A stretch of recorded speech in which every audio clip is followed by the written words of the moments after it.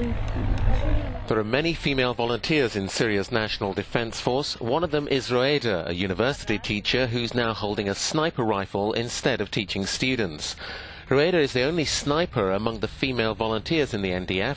She's also the only teacher who's chosen to go onto the battlefield.